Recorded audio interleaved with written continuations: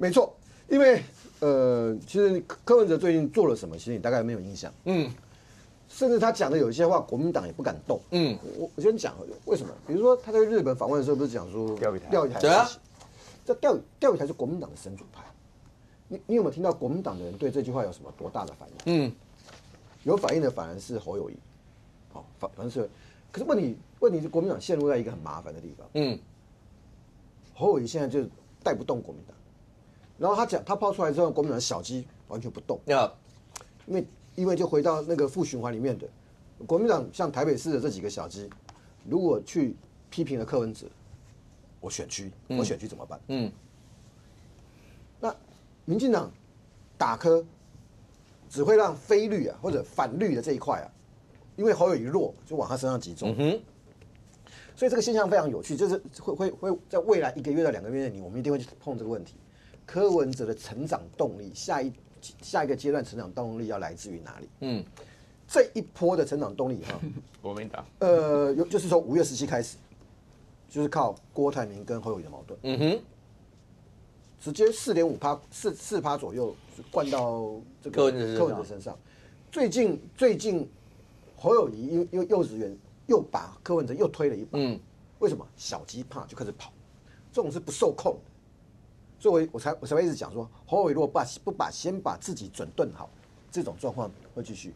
所以柯文哲成长的动力是靠侯友谊，可是这个这个成长动力会有极限。嗯你再看未来一个月，就是看到七月的民调的时候，合理来讲，柯文哲的那个曲线那个角度啊，要开始收敛，哦它还会成长哦，不是哦不会成长，但会有点可是会比较平。因为你在看三个人讲，侯往下掉不用怀疑，赖清德是处在高原期，高原期，嗯，就是因为他第一名，但是呢，他就在那个三十五六，有没有？那边来来回回来来回回，那是高原期，高原期的突破那个要很大的动力。嗯。柯文哲因为侯友谊，因为因为郭台铭，你知道那个角度很斜。然后嗯。过去这一个多月以来，再过来他要他他他的角度会趋缓。如果民进党打他，嗯。才会有五根。再往上，对。好，可是对对对，都好像这样。可是你讲那个那个曲线，会不会因为打的议题之间会照着好？你说如果民党打他，他的角度可能从比较趋缓以后再往上走，因为他塑造成非绿因为现在现在的角度会开始收敛嘛，对嘛？如果打下去，他才看看有没有机会再往上。可是最近几天讲到福茂这个问题的时候，包括媒体上不是出现说，呃，有人把二零一六年是不是？有。柯 P 不是在台大在医学在演讲的一篇有文刊那个那个。如果那个拿出来，因为要牵扯到两岸问题，牵扯到什么，这个会还是会往前走，还是会就是缓这篇嘛，标题叫做“下一站待续”嘛。嗯。柯批漫谈成功与成呃重重政重政之路嘛。嗯。这不知道谁找的。啊，但是至少一定是台大医院的人。啊，因为这已经很久了，七呃七八2016 2016七年。二零一六七年前，里面有一段话，这个也会也会也会被讨论的，嗯，就是柯文哲讲说他不会选总统啦，因为下一站是待续，嗯。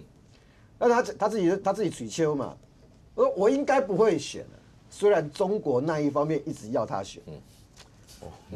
这一篇登刊登的时间已经是二零一六年总统选完了，嗯。就是总统选后之后的访问哈，所以中国那一方面一直要他选，就是要我选，指的应该是二零二零，二零二零的柯文哲有没有动作？嗯有有，嗯阻挡了嘛。本来本来想试水温嘛，后来看到也是郭台铭郭董的事情嘛，又缩回来嘛。那时候那次本来也有要跟郭董合作，对，结果后来本来本来是有了嘛。好，那二零二零呢？二零二四呢？回过头来，这一篇到底可以影响谁？嗯我们讲啊，柯文哲的支持度在四十岁以下，他经过八年的沉淀，不大会因为这个事情而影响。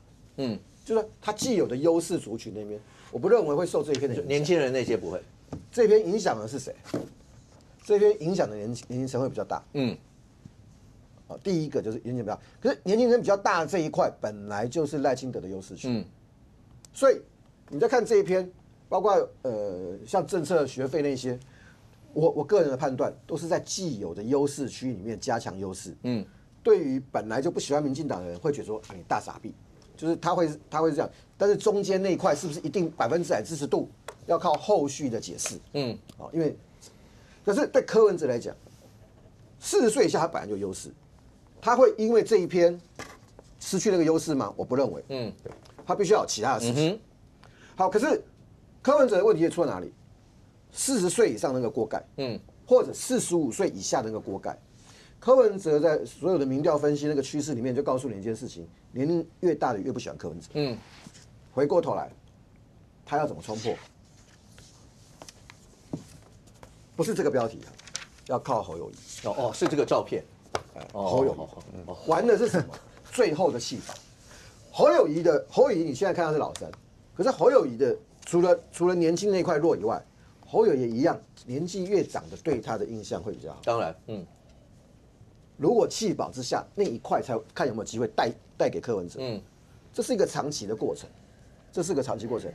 回过头来，下一个阶段是看什么？第一个，柯文哲你的那个角度到底剩多少？，OK，就是他是不是像五六月那个角度很斜那么陡角，然后再过来，侯友谊会不会犯错？嗯就侯友谊没有稳住的时候，那个高年年龄层四十五岁以上那块会不会这样子开始动？嗯但这一块呢，不是民进党打柯文哲就能决定，，OK，反而是侯友谊的自己的本身的作为会有影响。反过来讲，侯友谊如果自己能够稳住止血，嗯。那对柯文哲来讲就是一个不好的消息。